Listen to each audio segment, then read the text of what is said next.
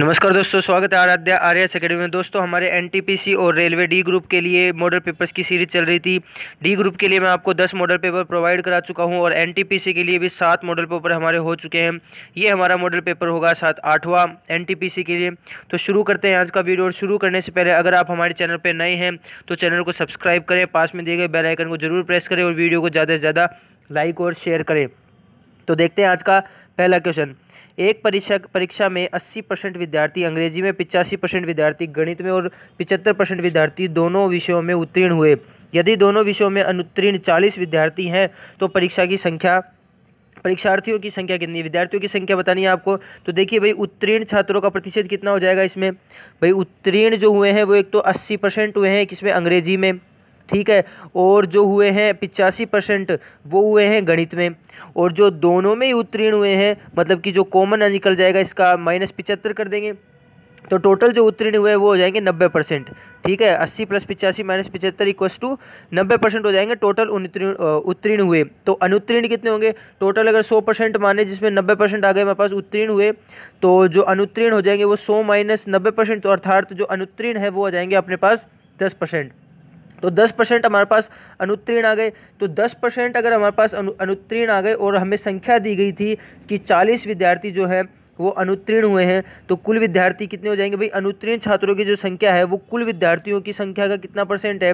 वो दस दस परसेंट है तो हो जाएगा बराबर जो हमारे पास चालीस है, वो बराबर हो जाएगा कुल विद्यार्थी इंटू दस अपोन में सौ। तो कुल विद्यार्थी आ जाएँगे इससे सौ इंट चालीस इंटू सौ कर दोगे और बटे दस कर दोगे तो कुल विद्यार्थी जो आ जाएँगे आपके पास वो आ जाएँगे चार सौ। अर्थात जो चार सौ विद्यार्थी हैं, वो टोटल थे परीक्षार्थी हमारे चार सौ आ गए। तो ऑप्शन नंबर जो बी है, वो इसका करेक्ट आंसर हो जाएगा। अगला क्वेश्चन देखिए।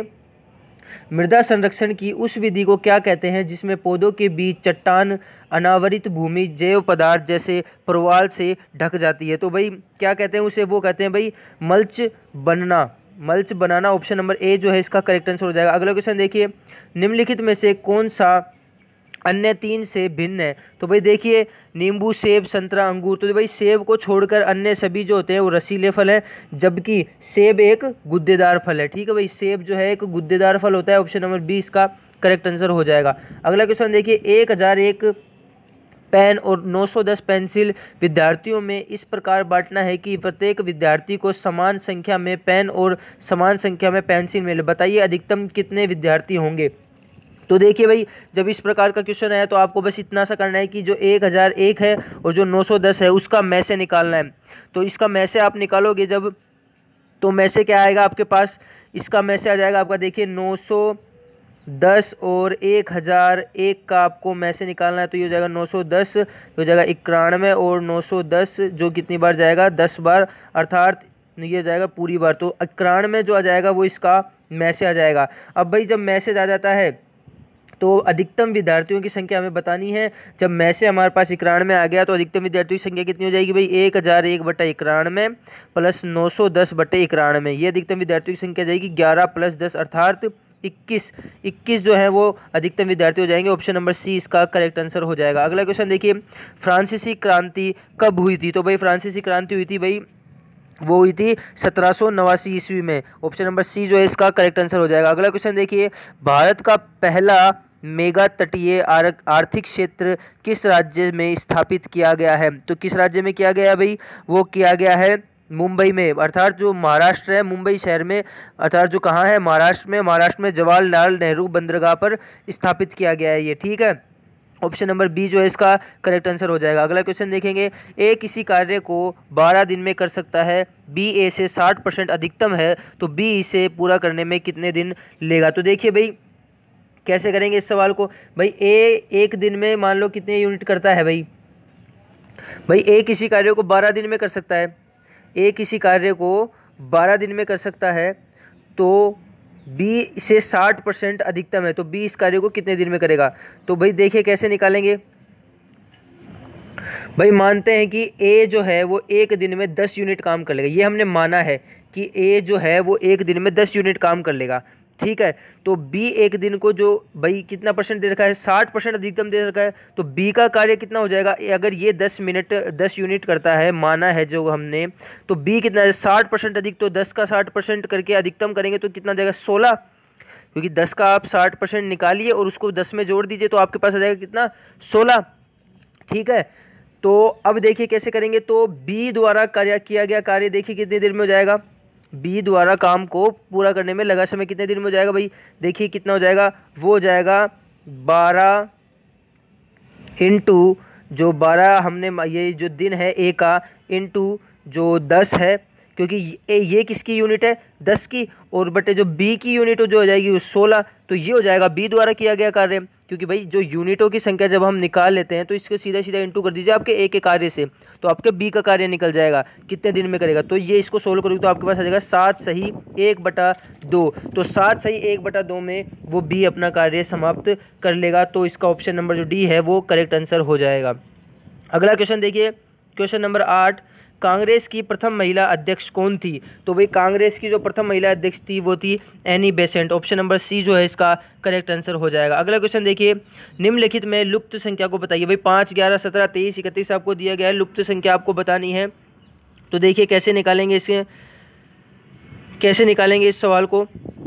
देखिए भाई, पाँच और ग्यारह। पाँच और ग्यारह। इसमें जब आप ऐड करोगे भाई, इसमें कितने लुप्त हैं? भाई, ये आ जाएँगे, इसमें जो गैप आ जाएगा वो कितने का आ जाएगा? पाँच और ग्यारह है, इसमें आप देखिए पाँच और ग्यारह क्या है? एक, आपकी अभाज्य संख्याएँ हैं, बिल्कुल अभाज्य संख्या है, और पाँच से पहले, पाँच के बाद जो अभाज्य संख्या होगी वो कौन सी होगी? सात होगी। पाँच के बाद जो अभाज्य संख्या होगी वो कौन सी होगी? सात होगी। और ग्यारह और सत्रह के बीच में एक और अभाज्य संख्या है, वो है तेरह, वो इसमें लुप्त है। तेरह, सत्रह और तेईस के मध्य जो अभाज्य संख्या होगी वो कौन सी होगी? उन्नीस। ठीक है, देखिए, पाँच, सात, ग्यारह, तेरह, सत्रह, उन्नीस, तेईस, ये सभी अभाज्य संख्या है। मतलब ये जो श्रृंखला बन रही है, ये अभाज्य संख्याओं की बन रही है। ठीक है तो भाई, और अब जो आया तेईस और इकतीस, इसके मध्य जो अभाज्य अभाज्य संख्या होगी वो कौन सी होगी? वो जाएगी उनतीस। ठीक है, अब देखिए, तेईस, इकतीस और इकतालीस इकतीस, इसके बाद जो अगली अभाज्य संख्या आएँगी, जो ऑप्शंस में दी गई है, वो कौन सी इकतीस के बाद तो सीधा इकतालीस ही आएगी। इकतालीस ही तो आएगी, जो लुप्त होगी। और इकतीस और इकतालीस के मध्य कौन सी होगी? वो होगी कौन सी? सैंतीस। तो जो अभिष्ट लुप्त संख्या आ जाएगी भैया देखिए एक एक के गैप में एक एक अभाज्य संख्या दी गई है। भाई पाँच के बाद सात के गैप से ग्यारहवीं अभाज्य संख्या थी। फिर ग्यारह के ग्यारह के बाद में तेरह लुप्त हो गई थी, उसके बाद सत्रह ही थी।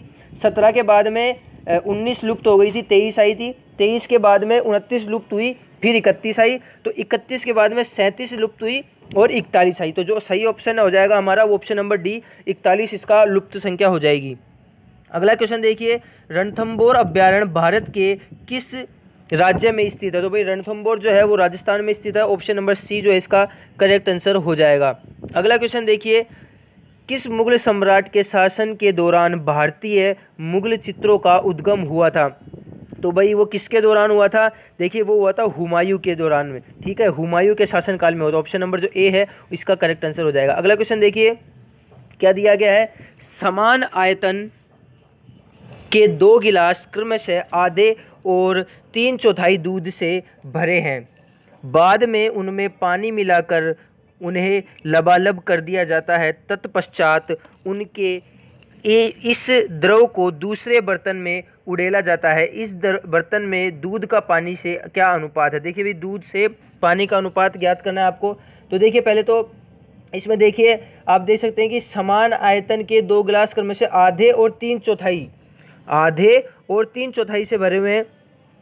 और पानी मिलाकर लबालब कर दिया बाद में। तो देखिए, किस तरह से निकालेंगे? मान लेते हैं, एक तो था, एक अनुपात ठीक है? एक था बी अनुपात। तो जो ए अनुपात बी आ जाएगा, ठीक है? ए अनुपात बी जो आ जाएगा, वो कितना आ जाएगा भाई? एक अनुपात एक। और जो, क्योंकि, और दूसरा जो आ जाएगा, वो सी अनुपात डी, वो आ जाएगा, अब आपके पास कितना आ जाएगा? तीन अनुपात एक।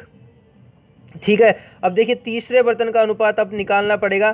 किस तरह से निकालेंगे? देखिए, वो आ जाएगा ए अपोन में ए प्लस बी, तीसरे बर्तन के अनुपात के लिए। प्लस सी अपोन में सी प्लस डी अनुपात इनका और बी अपोन में ए प्लस बी और इसमें सी ले लिया था, अगली बार ले लेंगे हम डी को। तो डी अपोन में सी प्लस डी। इस प्रकार से तीसरे अनुपात का भाई देखिए, ए लेंगे सबसे पहले अपोन में ए प्लस बी, फिर सी लेंगे सी प्लस डी। अब इसी में सबसे, उसके बाद बी भी लेना पड़ेगा तो बी अपोन में ए प्लस बी और इधर सी लिया जाए तो फिर इसमें डी लेना पड़ेगा, डी अपोन में सी प्लस डी। इस प्रकार से इसको निकालेंगे। अब इसे सोल्व कर लीजिए। ए दे रखा था और बटे एक बटा दो प्लस तीन बटे चार ये आ जाएगा, अनुपात हो जाएगा एक बटे दो प्लस एक बटे चार, अर्थात पाँच अनुपात, पाँच बटे चार, अनुपात तीन बटे चार चार से चार कट जाएगा और आ जाएगा पाँच अनुपात तीन, इसका करेक्ट आंसर था ऑप्शन नंबर डी इसका करेक्ट आंसर हो जाएगा। अगला क्वेश्चन देखिए, निम्नलिखित को हल कीजिए भाई, जब रेट को 912 लिखा हुआ है तो यू ए एम को क्या लिखेंगे? तो पहले तो देखिए रेट को कैसे इन्होंने 912 लिखा तो देखिए कैसे लिखा भाई जो आर होता है, वो आता है अट्ठारहवें अक्षर पे अंग्रेज़ी माला के तो एक प्लस आठ हो गया नौ। ए आता है एक अक्षर पे तो एक का एक। ठीक है टी आता है बीसवें नंबर पे तो दो प्लस ज़ीरो हो जाएगा दो। इस प्रकार से नौ सौ बारह लिखा। तो यू को भी लिख देंगे यू आता है इक्कीसवें पे तो दो प्लस एक बराबर तीन हो जाएगा।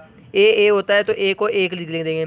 एम आता है तेरहवें अक्षर पे तो एक प्लस तीन हो जाएगा चार। तो तीन सौ चौदह इसको लिख देंगे, जो ऑप्शन नंबर आपको दिया गया है डी में तो ऑप्शन नंबर डी इसका करेक्ट आंसर हो जाएगा। अगला क्वेश्चन देखिए क्वेश्चन नंबर चौदह। यदि टाटा को पी ए पी ए पापा लिखा जाता है तो टाल्क को क्या लिखा जाएगा? देखिए भाई, ए जो है वो ए की जगह आ गया और ए जो है वो ए की जगह मतलब कि एक अक्षर छोड़ के दूसरा अक्षर ए एकदम सेम है, ए एकदम सेम है इसमें इसमें कोई चेंजेस नहीं है। पर टी को पी कैसे लिखा? टी को पी किया क्योंकि पी से पहले चौथा अक्षर होता है चा, टी। इस तरह से, और पी से पहले चौथा अक्षर होता है टी। तो इस प्रकार से तो इसको लिख दिया। ठीक है तो इसी प्रकार से अब हम कर देंगे इसको। कि अगर टी में अगर पी जोड़ा जाए तो कितना आ जाता है भाई? टी में अगर चार जोड़े, क्योंकि हमने चार का अंतर निकाला था तो इसमें चार का अंतर जोड़ेंगे तो पी आएगा। और दूसरा अक्षर सेम एज इट इज़ ऐसा कैसा लिखा है तो एज इट इज़ ऐसा कैसा लिख देंगे। एल है एल में अगर प्लस फोर करेंगे तो आपके पास एच आएगा, और के को एज इट इज़ लिखना है, क्योंकि इसमें ए का एज इट इज़ लिखा था। तो ये आ जाएगा कितना वापस? के का के तो पी ए एच के आ जाएगा इसका तो ऑप्शन नंबर जो हो जाएगा P A H K option number C इसका करेक्ट आंसर हो जाएगा। अगला क्वेश्चन देखिए, जनगणना 2011 के अनुसार ज़ीरो से छः वर्ष के बच्चों का सर्वाधिक लिंगानुपात वाले कौन कौन से दो राज्य हैं? तो भाई, जो अरुणाचल प्रदेश, मेघालय और एक मिजोरम, तीसरा राज्य है, ये सबसे अधिक लिंगानुपात वाले हैं। अरुणाचल प्रदेश का तो भाई नौ सौ बहत्तर और बाकी इन दोनों का नौ है लिंगानुपात तो ऑप्शन नंबर जो डी है, इसमें करेक्ट हो जाएगा ए व बी दोनों। अगला देखिए, यदि लागत मूल्य और विक्रय मूल्य का अनुपात दस अनुपात ग्यारह हो तो लाभ प्रतिशत क्या होगा? तो देखिए भाई, किस प्रकार से करेंगे इस सवाल को? देखिए, जो लाभ प्रतिशत होता है, लाभ प्रतिशत, इसका फॉर्मूला मैं आपको बता दूँ क्या होगा भाई? जो हो जाएगा विक्रय मूल्य माइनस लागत मूल्य अपोन में जब भी अनुपात होता है एक्स मैंने आपको पहले बता रखा है, इस तरह से करिए।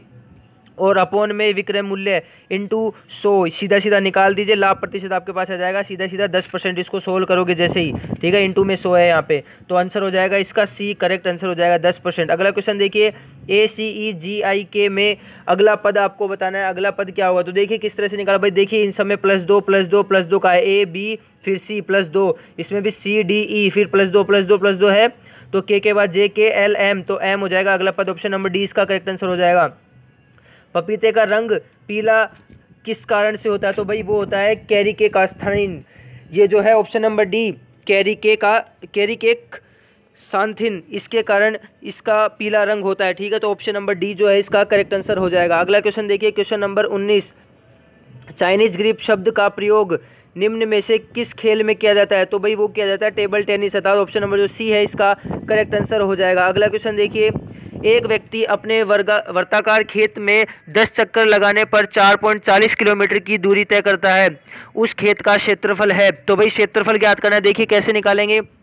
भाई देखिए क्या दिया हुआ है कि 10 चक्कर में तो वो 4.40 किलोमीटर की दूरी तय करता है। ठीक है? तो अब देखिए क्या दिया हुआ है। अगर इतना दिया हुआ है तो 4.40 किलोमीटर मतलब कि 4.40 इंटू हज़ार मीटर कर देंगे। हज़ार से इंटू कर देंगे तो हमारे पास किलोमीटर मीटर में कन्वर्ट हो जाएगा। तो वो हमारे पास क्या आ जाएगा भाई? वो आ जाएगा चार सौ चालीस मीटर आ जाएगा हमारे पास सीधा सीधा तो अब देखिए, जो एक चक्कर में जो तय की गई दूरी आ गई, हमारे पास कितनी सीधी सीधी चार सौ चालीस मीटर आ गई। चार सौ चालीस मीटर आ जाएगी, एक चक्कर में तय की गई दूरी। कैसे आई? क्योंकि हमने इसका साथ ही साथ दस से डिवाइड भी कर दिया। देखिए भाई, क्योंकि चार पॉइंट चालीस किलोमीटर दिया हुआ था, ठीक है? इसको मैंने मीटर में चेंज किया तो मेरे पास क्या आ जाएगा? इसको हज़ार से इंटू करना पड़ा मुझे मीटर में चेंज करने के लिए। ये पॉइंट हटा, नीचे सौ आया, दो ज़ीरो काटे तो चौवालीस सौ तो मीटर आ गया था कि चार पॉइंट चालीस किलोमीटर। अब दस चक्कर में जब चौवालीस सौ किलोमीटर चौवालीस सौ मीटर की दूरी तय की तो एक चक्कर में कितनी हो जाएगी? दस का डिवाइड कर देंगे तो चार सौ चालीस मीटर आ जाएगी। तो जो एक चक्कर में तय की गई दूरी आई, वो आ गई चार सौ चालीस मीटर, ठीक है? अब देखिए भाई, अगर वृत्त में की है तो वृत्त की परिधि क्या होती है भाई? टू पाई आर, क्योंकि वृत्ताकार खेत है तो वर्त वर्त की जो परिधि होती है वो टू पाई आर होती है। तो परिधि हमारे पास आ गई चार सौ चालीस, क्योंकि दूरी आ गई थी एक चक्कर की तो ये आ गई चार सौ चालीस, ठीक है? अब इससे आर का मान निकालो, अब जब आप आर का मान निकालोगे तो इससे आर का मान आपके पास आ जाएगा सत्तर मीटर। जब आप इस इक्वेशन को सोल्व करोगे टू पाई आर इक्व टू में फोर फोर्टी तो आपके पास आ जाएगा आर बराबर सत्तर मीटर। ठीक है? अब भाई जब आर आपके पास आ गया तो व्रत का क्षेत्रफल मतलब कि वर्ताकार खेत का क्षेत्रफल आप सीधा सीधा निकाल सकते हैं, क्योंकि फॉर्मूला होता है पाई आर स्क्वायर तो बाईस बटे सात इंटू सत्तर इंटू सत्तर। इसको जब आप सोल्व करोगे तो आपके पास आ जाएगा भाई एक पंद्रह हज़ार चार सौ मीटर अर्थात एक पॉइंट चौवन हेक्टेयर, अर्थात ऑप्शन नंबर जो बी है इसका करेक्ट आंसर हो जाएगा। अगला क्वेश्चन देखिए, अन्य तीन, तीनों में से भिन्न कौन सा है? तो भाई, भिन्न बताना है आपको, इनमें से कौन सा है? तो देखिए, कैसे निकालेंगे? जो आर और बीस है, जो आर है और बीस है तो भाई, आर जो होता है अंग्रेज़ी वर्णमाला में कौन से अक्षर पे होता है? आर जो होता है, वो अंग्रेज़ी वर्णमाला में कौन से अक्षर पे होता है? वो होता है अठारहवें अक्षर पे। ठीक है भाई। पी जो होता है, वो अंग्रेज़ी वर्णमाला में कौन से अक्षर पे होता है? वो होता है सोलहवें पे। यू होता है, वो इक्कीसवें पे। और एल होता है कौन से उस पर बारहवें नंबर पे। तो मतलब कि भाई पी सोलह, सोलहवें पे होता है और यू भी इक्कीसवें पे होता है और एल भी बारहवें पे होता है। तो सही सही अंक इनके साथ जुड़े हुए हैं। लेकिन आर है, आर अट्ठारह होता है और इसके साथ अंक जुड़ा हुआ है बीस। मतलब कि जो भिन्न है वो ऑप्शन नंबर ए हो जाएगा इसका करेक्ट आंसर निम्नलिखित शब्दों में से शब्दकोश के दिए गए क्रम के अनुसार लिखे। भाई, शब्दकोश के क्रम के अनुसार लिखना है। तो देखिए किस प्रकार से लिखेंगे शब्दकोश के क्रम के अनुसार। सबसे पहले जो आ जाएगा, वो आ जाएगा आपके पास अकेडमिक उसके बाद आ जाएगा आपके पास एक नंबर वाला अकारपस, ठीक है? उसके बाद आपके पास आ जाएगा भाई एक्सीड ऑप्शन नंबर तीन। उसके बाद आपके पास आ जाएगा भाई एकेंटेट ठीक है उसके बाद आपके पास आ जाएगा भाई अक्रॉस ऑप्शन नंबर जो दो, अर्थात जो होगा आपका सही क्रम वो हो जाएगा चार, एक, तीन, पाँच, दो, अर्थात ऑप्शन नंबर ए इसका करेक्ट आंसर हो जाएगा। अगला क्वेश्चन देखिए भाई, अगला क्वेश्चन है क्वेश्चन नंबर तेईस, वर्ष 1928 में भारत में आए उस कमीशन का नाम बताए, जिसका उद्देश्य भारत की संवैधानिक व्यवस्था में सुधार करना था। तो वो था भाई साइमन कमीशन। ऑप्शन नंबर जो डी है, इसका करेक्ट आंसर हो जाएगा। अगला क्वेश्चन देखिए, निम्न में से कौन सा देश वर्ष 2018 में अशगाबाद, समझौता में शामिल हुआ? तो भाई, कौन सा देश है वो? वो था भाई भारत। ऑप्शन नंबर सी इसका करेक्ट आंसर हो जाएगा। अगला क्वेश्चन देखिए, राम ने चॉकलेट्स खरीदी और वह उन्हें अपने बच्चों में बीच में समान रूप से बांटना चाहता है। यदि वह हर एक को पंद्रह चॉकलेट देता है तो दो चॉकलेटें बच जाती हैं।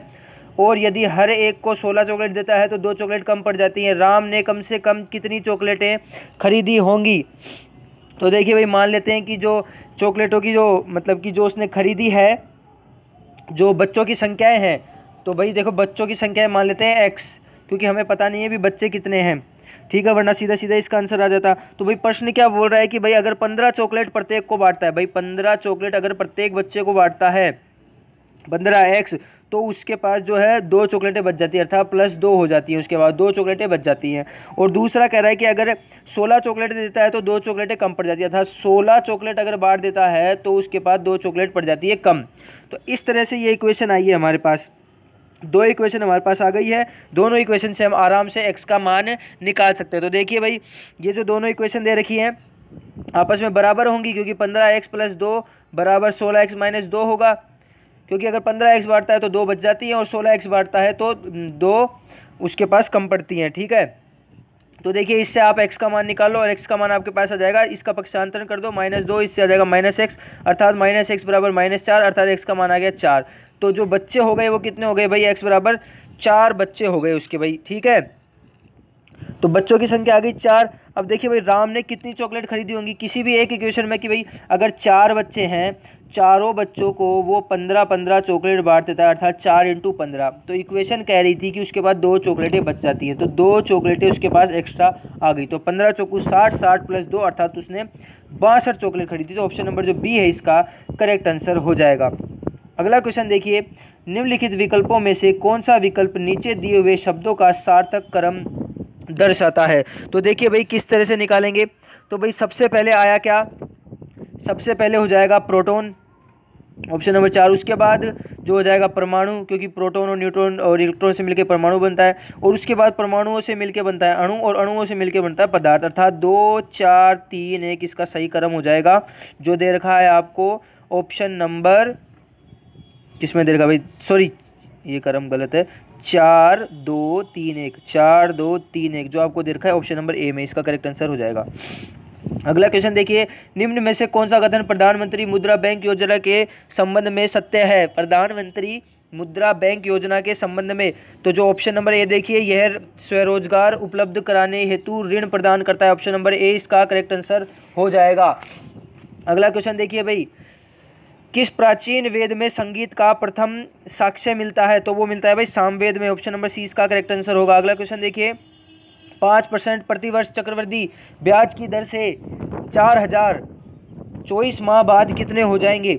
भाई पाँच परसेंट चक्रवर्ती ब्याज की दर से तो सीधा सीधा फॉर्मूला निकाल दीजिए आप। भाई चक्रवर्ती मिश्र धन का जो फॉर्मूला होता है चक्रवर्ती मिश्र धन का फॉर्मूला क्या होता है? वो होता है मूलधन इंटू वन प्लस रेट बटे सौ अपोन में जो टाइम ये होता है चक्रवर्ती मिश्र धन का फॉर्मूला सीधा सीधा आपको बस मान रखना है और कुछ नहीं है। चक्रवर्ती मिश्रण को मान लिया भाई ए ठीक है। मूलधन दिया गया है चार हज़ार। चार हज़ार की दिया गया ना? चार हज़ार। चार हज़ार दिया गया मूलधन। वन प्लस दर दी गई है आपको कितनी? पाँच पर, पाँच प्रतिशत दे रखी है तो पाँच हो जाएगी दर बट्टे सौ और समय दिया हुआ है। चौबीस माह मतलब कि दो साल, चौबीस माह मतलब दो साल अब सोल्व करना है आपको। इसको सोल्व करोगे जब आप तो आपके पास ए का मान कितना आ जाएगा भाई? चार हज़ार चार सौ दस। ऑप्शन नंबर जो डी है वो इसका करेक्ट आंसर हो जाएगा। भाई, वो फॉर्मूला मैंने बता दिया था, तरीका मैंने बता दिया। कैलकुलेशन आप खुद कर सकते हैं। अगला क्वेश्चन देखिए। ए बी की पत्नी के पति का भाई है। सी और डी डी की बहनें हैं। बी की बहनें हैं। ए का सी से क्या संबंध है? तो भाई बी ए बी की पत्नी का भाई है। जो ए है, वो बी की पत्नी का भाई है। तो बी की मान लो पत्नी ये हो गई। अभी पता नहीं ये कौन है। ये बी की पत्नी का भाई है। जो ए है बी की पत्नी का भाई है। सॉरी बी की पत्नी के पति का भाई है। बी की पत्नी के पति। मतलब कि बी की पत्नी के पति तो बी ही हो गया, उसका भाई है। भाई, ए जो है बी की पत्नी के पति का भाई, ए है जो बी की पत्नी के पति का भाई है तो मतलब ये इसका भाई हो गया ए। ठीक है, अब देखिए, सी और डी बी की बहनें हैं तो सी और डी, मान लेते ये सी और ये डी है, ये बी की बहनें हैं। ठीक है भाई, ए का सी से क्या संबंध हुआ? तो भाई, ए का सी से क्या संबंध हो गया? भाई, ये जब आपस में भाई थे और बी की ये दोनों बहनें हैं तो ये दोनों भाई हैं तो इसकी भी तो बहनें हुई वो। तो ये इसका क्या हो जाएगा भाई? ए इसका भाई हो जाएगा। अर्थात ऑप्शन नंबर जो ए है, इसका करेक्ट आंसर हो जाएगा। अगला क्वेश्चन देखिए। निम्नलिखित में से विकल्पों में चुन के बताइए कि कौन सा शब्द अक्षरों के प्रयोग से नहीं बनाया जा सकता। तो भाई देखिए ये देखिए आप ऑप्शन नंबर बी देखिए पोम्पस इसमें ओ दो बार लिया गया जबकि हमारे पास दिए गए वर्ड में ओ एक बार ये अर्थात जो बी वर्ड है जो इससे नहीं बनाया जा सकता ऑप्शन नंबर जो बी है इसका करेक्ट आंसर हो जाएगा। अगला क्वेश्चन देखिए। दो स्टेशन ए और बी 138 किलोमीटर दूर है, एक ट्रेन सुबह सात बज के पंद्रह बजे ए से शुरू होती है और बी की ओर चौबीस किलोमीटर प्रति घंटे की रफ्तार से जाती है। एक अन्य ट्रेन सुबह आठ बजे बी से शुरू होकर शुरू होती है और एक की ओर 36 किलोमीटर प्रति घंटे की रफ्तार से चलती है, वे किस समय मिलेंगी? तो देखिए, इस सवाल को किस तरह से करेंगे? भाई, क्या दिया हुआ है कि जो ए है, जो ट्रेन ए है, मान लेते हैं ये है ए वो सात बज के पंद्रह मिनट पर निकलती है, सुबह सात बज के पंद्रह मिनट पर ठीक है? और जो बी है, जो बी ट्रेन है, वो निकलती है कब से? जो ए की ओर निकलती है छत्तीस किलोमीटर प्रति घंटे की चाल से ए की ओर छत्तीस किलोमीटर प्रति घंटे की चाल से वो चलती है। और जो दूरी है ए की बी से वो एक सौ अड़तीस किलोमीटर दे रखी है। मतलब ये जो दूरी है वो एक सौ अड़तीस किलोमीटर दे रखी है। ये निकलती है कब? आठ बजे निकलती है बी वाली। अब देखिए भाई, जो ट्रेन ए द्वारा सात बज के पंद्रह मिनट से आठ बज के आठ बजे ए एम अर्थात कितने मिनट हो गए भाई? पैंतालीस मिनट। तो पैंतालीस मिनट में जो तय की गई दूरी आएगी, वो देखिए हम किस प्रकार से निकालेंगे। पैंतालीस मिनट में। तो भाई पैंतालीस मिनट हो गए, भाई सात पंद्रह से लेकर आठ बजे के बीच में कितने मिनट हो गए? पैंतालीस मिनट। तो पैंतालीस मिनट, अब इसको एक बार, पैंतालीस मिनट है, और बट्टे कितने घंटे हैं भाई सा, एक एक मिनट में साठ घंटे, एक मिनट सॉरी एक घंटे में साठ मिनट होते हैं तो पैंतालीस बट्टे साठ की आ जाएगी, घंटे में आ जाएगी। ये घंटे में मान आ गया, ठीक है?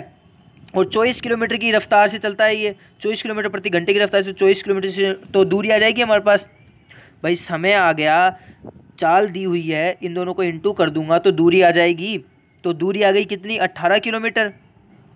ठीक है, अब देखिए भाई, दोनों ट्रेनों की जो बीच की दूरी, वो कितनी? भाई टोटल जब 138 किलोमीटर की दूरी थी और 18 किलोमीटर, ये इसकी दूरी हो जाएगी तो बीच की दूरी कितनी आ जाएगी? 138 माइनस अट्ठारह, अर्थात 120 किलोमीटर की तो बीच की दूरी आ गई।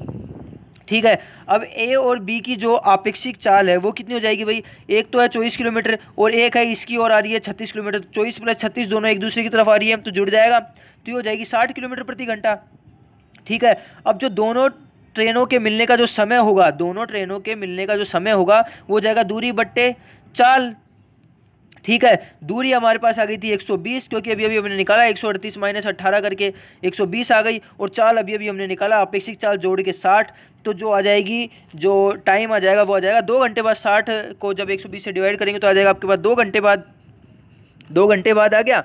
अब देखिए बी जो थी वो आठ बजे थी तो जो दोनों ट्रेनें मिलेंगी, कब मिलेंगी? मतलब कि आठ बजे और दो घंटे जो हमने निकाला, आठ बज के और दो घंटे बाद। तो आठ में जब दो घंटे जोड़ोगे तो क्या जब जाएगा भाई? दस बज जाएँगे। तो अर्थात दस ए एम पर वो मिलेंगी।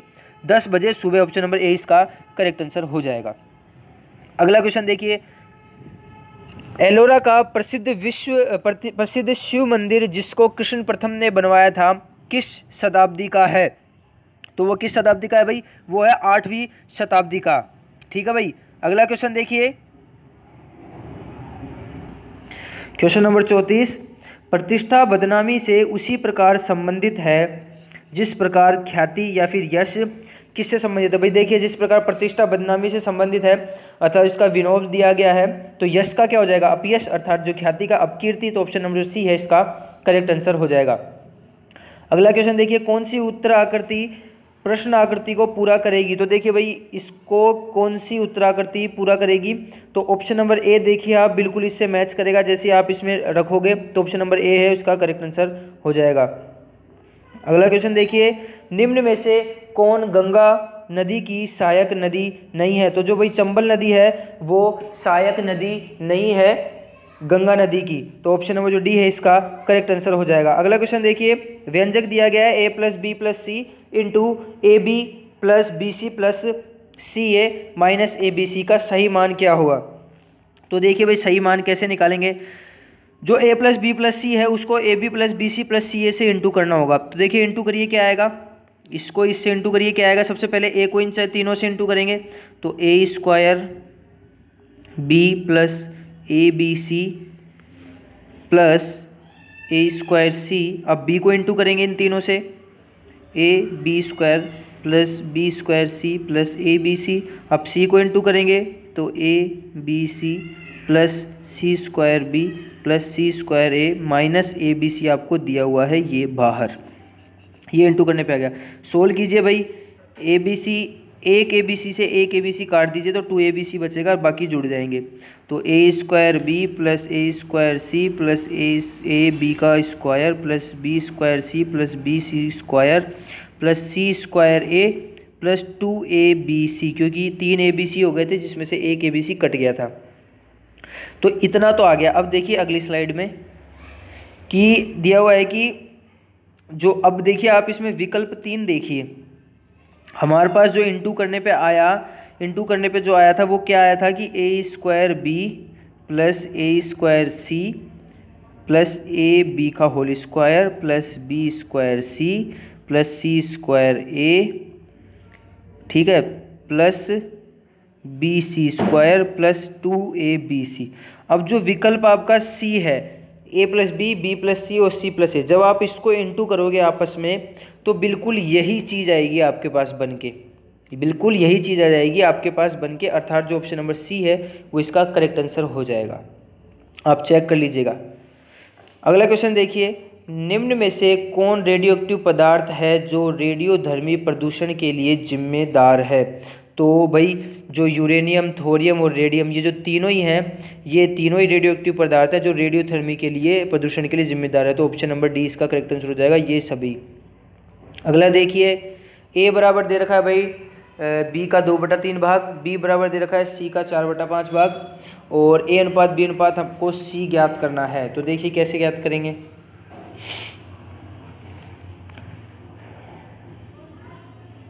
भाई, अगर ए बराबर आपको दे रखा है टू बाय थ्री बी ठीक है? और बी दे रखा है फोर बाय फाइव सी भाई जब b बराबर फोर बाय फाइव सी दे रखा है तो आप इससे c का मान भी तो निकाल सकते हैं इस तरह से वज्र गुणा करके। तो c बराबर आ जाएगा आपके पास फाइव बी अपोन में फोर सही बात है एकदम। अब a अनुपात, b अनुपात, c आपको निकालना है। तो देखिए कैसे निकालेंगे। A अनुपात, b अनुपात, c a का मान क्या है? दो बटा तीन बी और अनुपात बी का मान क्या है? बी का मान क्या है भाई? बी का मान दे रखा है आपको। देखिए बी बराबर जब चार बटे पाँच सी था तो आपने सी बराबर निकाल लिया था इससे फाइव बी बाय फोर ठीक है? ये आपने निकाल लिया था इससे, ठीक है? अब जो बी हो जाएगा, देखिए इसको किस तरह से किया गया है कि ए इसको आप क्या कीजिए, जो आपको ये दे रखा है ना, इस तरह से। तो आप इसको एक ही पद में फॉर्म में चेंज कर लीजिए कि ए का मान आ गया बी के पदों में सी का मान भी आ गया था बी के पदों में क्योंकि फाइव बाय फोर अपॉन में बी ठीक है? तो बी किस फॉर्म में हो जाएगा आप? तो बी हो जाएगा सिर्फ़ अकेला बी समझे कि भाई ए जो हो जाएगा तो वो तो बी का दो बटा तीन भाग और सी हो गया, वो बी का चार बट, पाँच बटे चार भाग तो जो बी हो जाएगा, वो सिर्फ़ अनुपात अकेला हो जाएगा। तो सी क्या हो गया भाई? फाइव बी अपॉन में फोर इस प्रकार से तीनों के अनुपात आ गए। तो बी बी बी आपस में कट जाएँगे, ठीक है? और ये हो जाएगा दो बटा तीन अनुपात एक, अनुपात पाँच बटे चार। अब इनको सोल्व कर लीजिए। आपस में इंटू कर दीजिए कि तो आपके पास जब इंटू करेंगे तो आपके पास कितना आ जाएगा भाई? आपके पास आ जाएगा आठ अनुपात बारह अनुपात पंद्रह, ये इनका समानुपात हो जाएगा। अर्थात जो ऑप्शन नंबर डी है वो करेक्ट आंसर हो जाएगा। अगला क्वेश्चन देखिए। निम्न समांतर चतुर्भुज में बी ए सी का मान होगा। बी ए सी का मान ज्ञात करना है आपको। बी ए सी का मान। इस कोण का मान आपको ज्ञात करना है। बी ए सी का। जबकि ये साठ डिग्री दे रखा और एक ये दे रखा चालीस देखिए भाई, समांतर चतुर्भुज है तो समांतर चतुर्भुज में जो शीर्षाभिमुख कोण होते हैं वो बराबर होते हैं, अर्थात जो साठ डिग्री है और ये हो जाएगा, ये साठ डिग्री। ये आपस में क्या होगा? बराबर हो जाएगा। ठीक है भाई, अब देखिए, ये चालीस डिग्री आ गया, ये साठ डिग्री आ गया। अब आप जानते हैं कि तीनों कोणों का जो योग होता है वो एक सौ अस्सी डिग्री होता है त्रिभुज के तो ये हो जाएगा साठ, ये हो गया है साठ और ये चालीस, माइनस कर देंगे एक सौ अस्सी में से।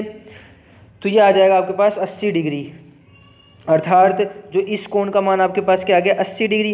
अब आप जानते हैं कि समांतर चतुर्भुज है तो ये समांतर होंगी और समांतर चतुर्भुज जब वो एक तिरक रेखा काटती है तो आपस में ये जेड बनता है, जिसमें ये कोण और ये कोण आपस में बराबर होते हैं। तो भाई ये अस्सी रखा है तो ये बन गया जेड समांतर रेखाओं से। देख भाई, दोबारा से बता देता हूँ। ये साठ है तो ये इसके बराबर होगा, ये हो जाएगा साठ। त्रिभुज के नियम से मैंने इसको निकाल लिया अस्सी। अस्सी डिग्री। ठीक है? और अब ये है समांतर रेखा है, ये काट की तिरक रेखा तो आपस में ये कौन होंगे बराबर तो ये अस्सी तो ये भी अस्सी। अर्थात जो ऑप्शन नंबर डी है, इसका करेक्ट आंसर हो जाएगा। अगला क्वेश्चन देखिए, भारत के राष्ट्रपति के पद के लिए कौन शपथ दिलाता है? तो भाई वो दिलाता है भारत का मुख्य न्यायाधीश ऑप्शन नंबर जो बी है, इसका करेक्ट आंसर हो जाएगा। अनुच्छेद सिक्सटी के अनुसार दिलाता है भाई। अनुच्छेद सिक्सटी में इसका राष्ट्रपति की शपथ का प्रावधान है। अगला क्वेश्चन देखिए। दी गई उत्तर आकृतियों में से संबंधित उत्तर का आकृति चुनिए। भाई देखिए, इस आकृति से यही आकृति कैसे बनी? क्योंकि इसको 180 डिग्री पूरा घुमा दिया गया। तो इसी प्रकार से इसको भी 180 डिग्री पूरा घुमा दीजिए तो आपके पास जो उत्तर आकृति आ जाएगी, वो कौन सी आ जाएगी? ऑप्शन नंबर डी वाली। तो ऑप्शन नंबर जो डी है, इसका करेक्ट आंसर हो जाएगा। अगला क्वेश्चन देखिए।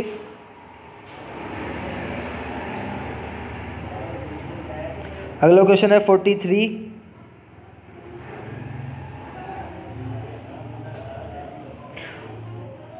देखिए भाई, ये क्वेश्चन आपको आ गया होगा। सॉरी इसमें मैंने शायद गलत बता दिया थोड़ा।